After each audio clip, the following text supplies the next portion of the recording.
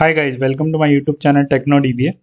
This channel is created for DBAs to gain the knowledge and learn to perform day-to-day activities. So in today's video, we'll discuss about starting and shutting down the Postgres services on our Windows system. This is basically helpful for the people who are running their Postgres instance on or Windows laptop or Windows system or uh, Windows server. Okay, so let's see how it is done in order to start, stop and restart the Postgres services, you need to know the data directory. This is a data directory where actual data is getting saved. Your data files are residing there. Let's see that. I was already checking, but I'll uh, again log in and show you. Okay, all right. Logged into Postgres as a Postgres user.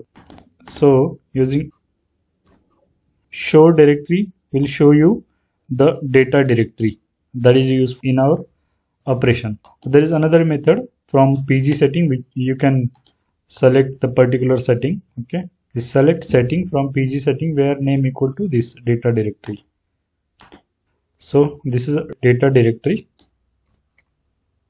and to see the status of this Postgres instance eh, you can uh, execute this command pg_ctl then hyphen d and then the data directory and status. You just need to change the last uh, words of this one okay? I'll see. In order to do that i'm just opening another session okay? Just browsing to our executables okay? This is all postgres executables are available. So i'll put this status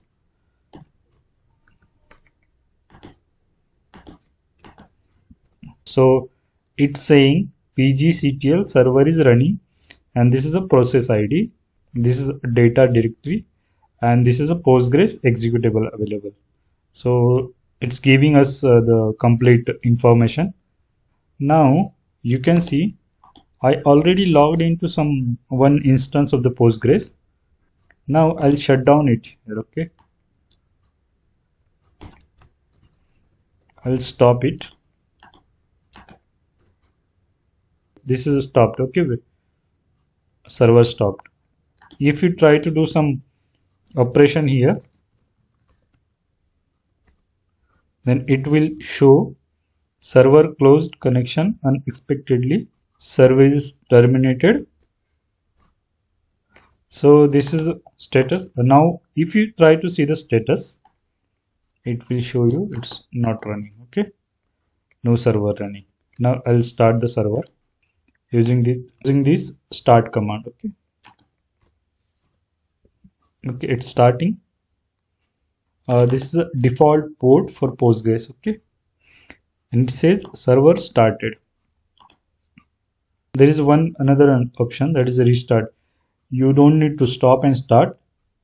You can just restart if you want. In case of some parameter change you change the parameter but some parameters need server restart then you can just do that. Server restart okay? Uh, this is how you can do.